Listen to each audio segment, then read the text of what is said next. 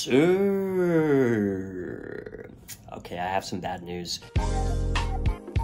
Been a crazy busy day here in New York City, filming a bunch of people who we are going to share with you on Space Monkeys episodes coming up over the next few weeks.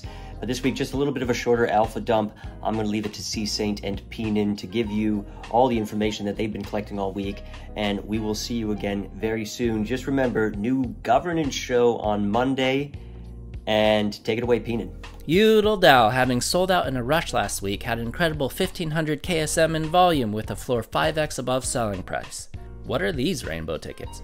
The top news item of the week, however, has to be Exosama's incredible launch on OpenSea.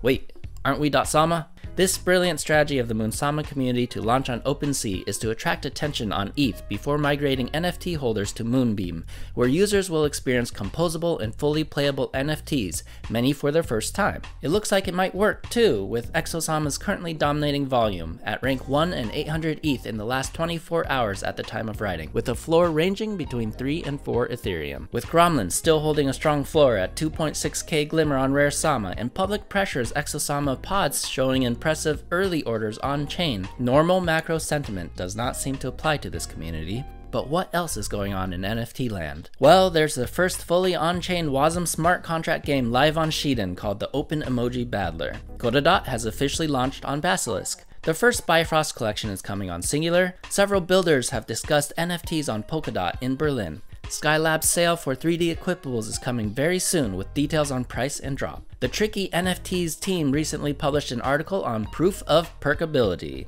Subwallet launches its first metaverse in BitCountry. Unique Network explains how Lemonade Social uses its advanced NFT technology solutions for Web3 ticketing. Materia Prima reveals the name of their game that will use RMRK. And, on a more sobering note, Chaos Collective members Rich Valentino, Crypto Skulls, and harunoheart are in a very tough situation in Russia. Richard Valentino says, our country has announced a partial mobilization, which will lead to a general mobilization. The referendum will be in the next few days.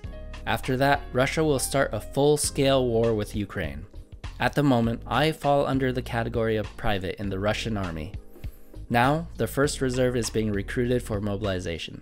I fall under the second reserve, which may already happen in the next week or two. I fear for my life and the lives of my loved ones. I am against war in any of its manifestations. Please refer to the Subsocial article for links and ways to support them, and look out for Richard's upcoming album release in the next few days. We the auctions on the sister chains, Oka's taken flight and hit their crowd loan goal as Polkadot's next auction is ready to launch. Looks like it's smooth sailing from here.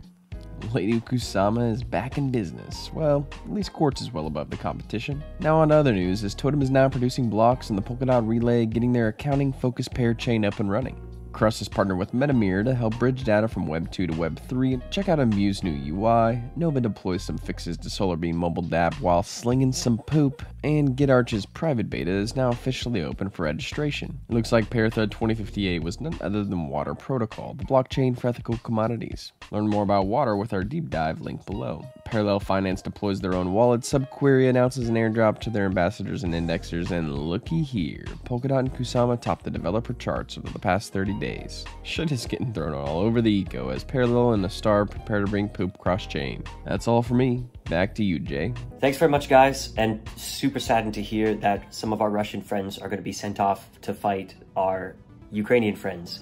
Um, war just makes no goddamn sense. If you want to help, again, we're going to have Rich Valentino and harunoheart's sub-IDs and singular accounts in the description below, where you can take an opportunity to support their journey out of Russia. This week, we'll play you out with a track from Rich. It's called Digital Punk. It's from the Canary's Nest collection. And no matter where you are, stay safe and have a great weekend, everybody.